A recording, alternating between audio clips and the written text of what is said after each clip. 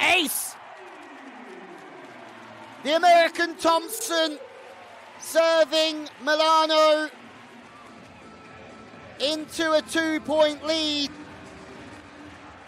A game to remember unfolding in front of our eyes. Egonu with an ace brings it back to two.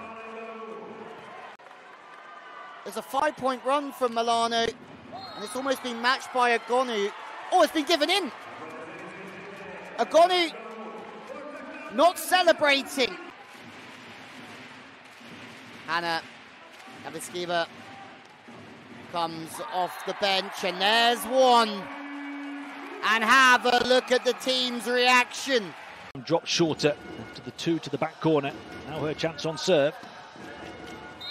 Very close to the baseline. You almost expect that to be in because of how good she's been. And I think in Turkish League as well as in the Turkish Cup and the Super Cup. And showing just why. Can she reproduce? Yes, she can!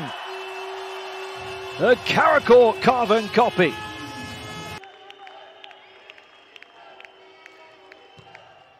Kalandadze, a lovely ace. Best server in the Champions League so far. Kalandadze with a serve. A power serve goes to the A down the line. Kalandadze, wonderful ace.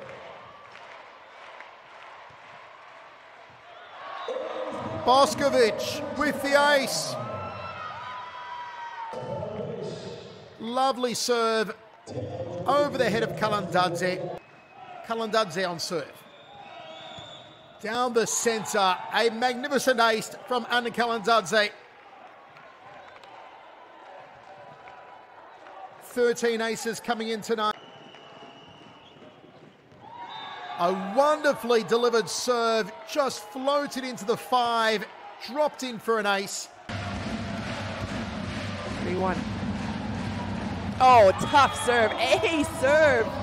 Fedorovtseva did not come to mess around. If they can avoid a nine point run by Conegliano or by Fenerbahce here now, then they'll already be one step in a better direction, and they've done a good thing.